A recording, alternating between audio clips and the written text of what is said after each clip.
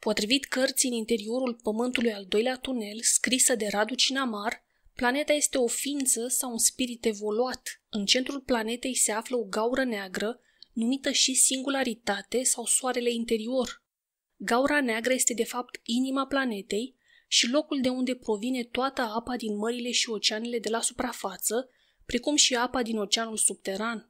Ca și o ființă umană, planeta are pe lângă corpul fizic și un corp subtil eteric, unul astral, un corp mental și un corp cauzal. Corpul sau planul cauzal este locul în care se găsește cea mai înaltă vibrație. De asemenea, corpul cauzal este cel care învelește chiar centrul sau inima planetei. Din cartea Geneza uitată, scrisă tot de Radu Cinamar, aflăm că ceea ce oamenii și tradiția ezoterică numesc Gaia ca fiind spiritul planetei, se referă de fapt la componenta bioenergetică a acesteia, la viața care există și se manifestă la suprafața ei și de asemenea în interior. Gaia este mai curând asimilată sufletului planetei, care implică viața și dinamicitatea ei.